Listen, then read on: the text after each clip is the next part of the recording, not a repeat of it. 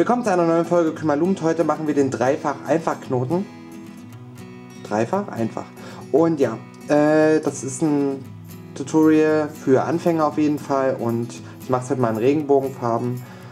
Und ja, viel Spaß an die Zuschauer, die sich das gewünscht haben und ja, los geht's. Da ich meinen Rahmen ja mit Regenbogenfarben bespannen will, setze ich also nun die gewünschten Farben immer auf eine Pinreihe. Das heißt, äh, da ich ja Regenbogenfarben mache, setze ich die alle auf eine Höhe. Auf den ersten kommt lilane, auf die zweite Reihe kommt blau, dann kommt grün, dann kommt gelb, orange und so weiter und so fort. Das machen wir jetzt erstmal.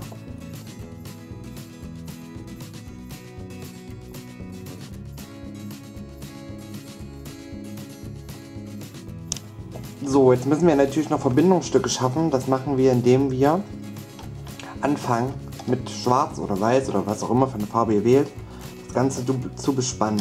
Die obersten drei lassen wir weg, weil wir müssen die zwei Pins auf den einen dann am Ende machen. So, das bespannen wir jetzt erstmal bis oben hin. Immer drei Pins.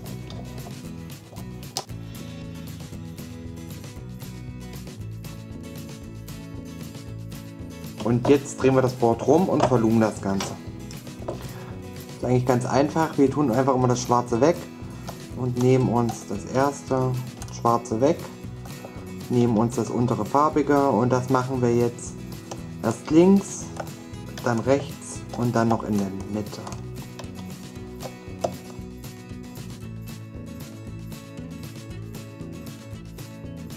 Den lassen wir jetzt erstmal in Ruhe und machen jetzt rechts weiter.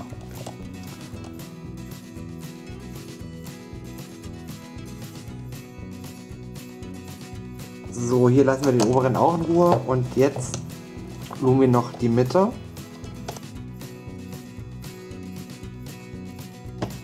So, jetzt haben wir alles nach oben gelumt.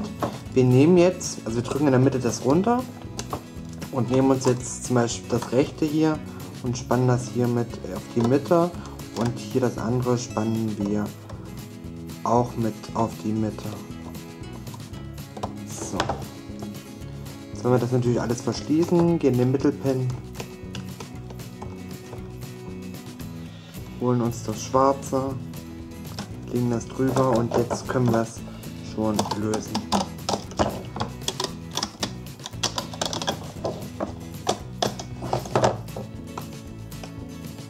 So, so sieht's aus. Ganz einfach, ganz easy. Nehmt ihr euch noch einen Clip, macht das beides aneinander fest und fertig.